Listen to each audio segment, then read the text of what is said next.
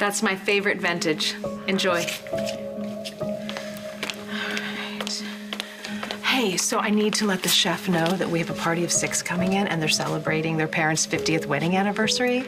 So I want to have some white chocolate mousse sent out to them with some raspberry coulis, compliments of the hotel. Fantastic. I'll let them know. Oh, and somebody's here to see you.